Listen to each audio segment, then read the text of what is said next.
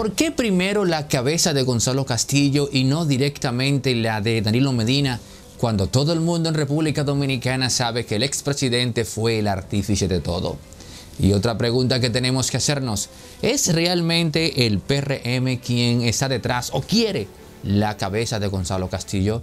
Un análisis muy riguroso nos hizo llegar a una conclusión que muy posiblemente te sorprenderá.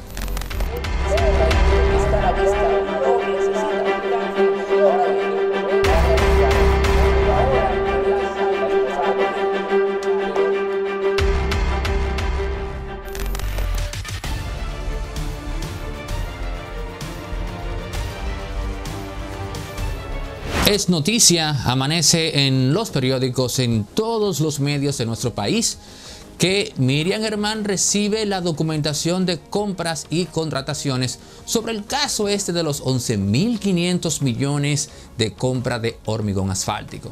Pero también Milagros Ortiz Bosch, la directora de Ética, le hace llegar una documentación al respecto a la misma magistrada Miriam Germán. En pocas palabras, se está maquillando a Gonzalo Castillo.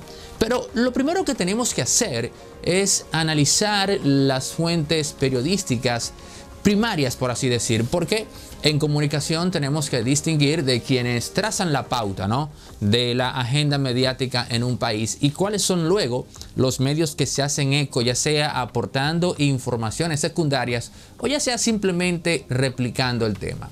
Y cuando analizamos esto, nos percatamos de que hay una agenda común o de que esos directores de medio tienen un elemento político en común que no es necesariamente afín, pero que uno, que tiene ya veintitantos de años en esto, sabe que son elementos que le despachan informaciones a cierta persona.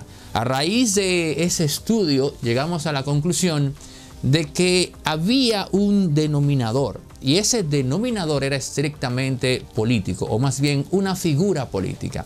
Y cuando vimos que a Leonel Fernández, que es esa figura política, le interesaba el tema Gonzalo Castillo, nos preguntamos qué busca Leonel Fernández detrás de Gonzalo Castillo cuando se supone que su vendetta política es específicamente contra Danilo Medina. Y cuando nos hicimos esa pregunta, surgió un análisis que desnudó el juego de poder en todo esto que se está armando en contra de Gonzalo Castillo. Leonel Fernández es la persona que está detrás de la cabeza de Gonzalo Castillo. Quien está armando todo esto no es el PRM, sino Leonel Fernández. Uno podría concluir que el interés de Leonel es personal, ya que fue Gonzalo Castillo quien lo derrotó en, aquella primaria del 6 de octubre y con ello pues sepultó la posibilidad de que el expresidente volviese a ser, volviese más bien a capitanear la nave de República Dominicana. Pero el motivo no es personal es político y no necesariamente tiene que ver con Gonzalo en sí, sino precisamente con el mismo Danilo Medina. Este es el juego de poder en donde hasta Juego de Tronos le queda chiquito a todo esto. ¿Qué es lo que busca Leonel Fernández con Gonzalo Castillo? Señores, Leonel está buscando acorralar a Gonzalo Castillo. Leonel conoce la naturaleza humana de Danilo Medina porque tiene esa facultad. No se trata de que, de que tras 30 años o 40, pues viviendo con el enemigo, no, no, no. Leonel tiene ese don, nos guste o no.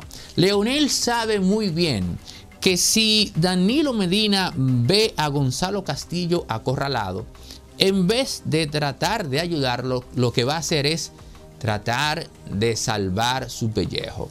Y en ese proceso, con esa acción, se va a mitigar se va a neutralizar los últimos lazos que pudiesen quedar con Gonzalo Castillo. Y esto obligaría o llevaría a Gonzalo Castillo a dar algo que todo aquel que quiere ver sepultado a Danilo Medina quiere. ¿Y qué es eso? Toda la información necesaria en torno al emporio económico de Danilo Medina. Porque lo que le queda a este segundo, a Danilo, para hacer contrapeso en el PLD, no es su capital político. Porque ya su figura ha quedado públicamente lacerada. Ahí no hay mucho que buscar y no creemos que con Danilo Medina se dé un proceso homólogo al del Ave Fénix. No, pero Danilo tiene mucho dinero, el suficiente para colocar a cualquier precandidato del o candidato del PLD. Pero eso no significa necesariamente que le pichen el juego por eso. Ahora, Gonzalo Castillo, que fue el tesorero de Danilo Medina, sabe toda la estructura que se armó para construir ese emporio económico.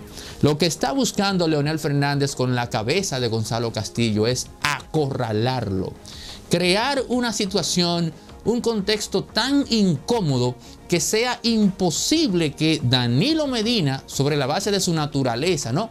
y Gonzalo Castillo puedan seguir siendo una dupla, un binomio que se ayude mutuamente buscan acorralar a Gonzalo Castillo para que al final del día, tratando de, salvar el su pellejo, cante y haga entonces, o propicie más bien, que Danilo Medina se hunda en el fango.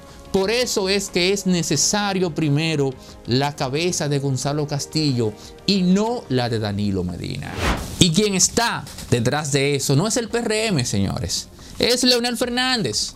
Porque al PRM la figura de Gonzalo Castillo no le representa amenaza alguna ni a corto, ni a mediano, ni a largo plazo. Y parece ser que la estrategia está funcionando.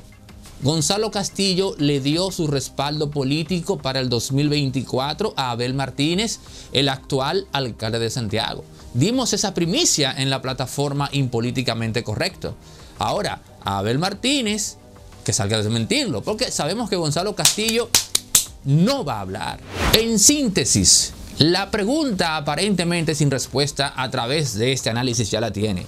Se quiere a Gonzalo Castillo porque hay que acorralarlo. Gonzalo Castillo es quien tiene toda la información concerniente a todo lo que se necesita de Danilo Medina para entonces hacer posible que aquel hashtag que no voy a mencionar ahora se haga realidad. Hashtag los queré, punto, punto, punto, punto. Y ahí lo dejo. Prefiero, prefiero eh, ponerme cinta en la boca antes que, que decirlo. Porque no sé, me han hecho unas cuantas llamadas honestamente. Pero seguimos aquí, señores. Seguimos aquí. Se quiere la cabeza de Gonzalo Castillo porque es el medio más idóneo para llegar a Danilo Medina. Y quien está detrás de eso no es el PRM, es Leonel Fernández, quien por cierto tiene otra estrategia montada en el PLD internamente. Y eso lo voy a revelar en otro capítulo porque ya tengo la información, ya tengo una fuente del entorno de Leonel Fernández que me pasó esa información. Rumbo a los 100 mil millones de suscriptores. Si tú eres asiduo en la plataforma pero aún no te has suscrito, hazlo y acompáñanos a llegar a esa apreciada meta de los 100 mil suscriptores acá en Impolíticamente Correcto con un servidor, Janeudi Santos.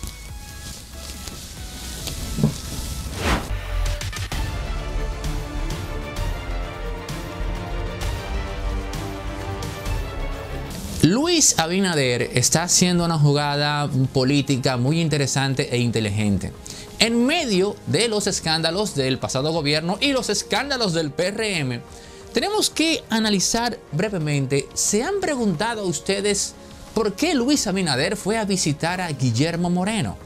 Si se, bueno, eh, vamos a ver, Leonel Fernández, incluso la cúpula del PLD, y otros elementos de la sociedad civil que tienen un peso eh, más contundente que Guillermo Moreno. Porque eh, independientemente de que sea un elemento conocido, quizás incluso en desmedro de él mismo, eh, no tiene esa estatura política que se esperaba. No, esa es la realidad de Guillermo Moreno, el llanero solitario de la política dominicana. Pero ¿qué es lo que está haciendo Luis Abinader con Guillermo Moreno? Luis, sobre la base de que Guillermo no representa una amenaza política, no tanto por el hecho de que pueda crecer o no, sino porque el accionar político de Guillermo Moreno hasta ahora ha sido un accionar enteramente autodestructivo en contra de los intereses de que él mismo llega al poder. Porque, señores, Guillermo Moreno debió hacer alianzas con partidos minoritarios, debió sacrificarse, ¿no? Para ir creciendo políticamente, pero él no hizo eso. Guillermo Moreno ha demostrado que es un caudillo más, porque soy yo o yo y punto. No puede ser a través de otro, tiene que ser a través de mí. Y eso le ha perjudicado políticamente a Guillermo Moreno. Pero en este caso, señores, Luis Abinader cuando va y visita a Guillermo Moreno en la misma ronda que visitó a Leonel Fernández y a Danilo Medina, etcétera, lo que estaba haciendo era dándole un peso y una estatura que, política que evidentemente él no tiene. Pero estaba haciendo eso porque a Luis Abinader lo que le interesa es que se dé un relevo en el discurso de la oposición que no recaiga estrictamente en el PLD o incluso en Leonel Fernández. En pocas palabras, Luis Abinader está proyectando a Guillermo Moreno para que se constituya en ese elemento opositor protagónico que no necesariamente sea una amenaza para que él llegue al poder. Es como la estrategia que utilizó durante mucho tiempo la Cervecería Nacional Dominicana, que tenía la cerveza bohemia como un escudo protector contra el presidente. Cada vez que llegaba una marca nueva al mercado, lo que hacía la cervecería era que le echaba a bohemia por aquello de que el presidente tenía que mantener un estatus que no podía competir directamente porque eso la mantenía allá arriba y utilizaban a nivel publicitario a la cerveza bohemia. Eso mismo está haciendo Luis Abinader con Guillermo Moreno, dándole peso, dándole protagonismo social a un elemento opositor que él podría apostar a que desplace al PLD sobre la base del descrédito de ese partido, pero que al mismo tiempo es un elemento opositor que él entiende que no será amenaza de llegar al poder en el 2024, ni para él ni para el PRM. Me parece que es una de las estrategias más sofisticadas de Luis Abinader que se está estrenando en el campo, no solo de la presidencia, sino caramba, de estratega político desde el poder.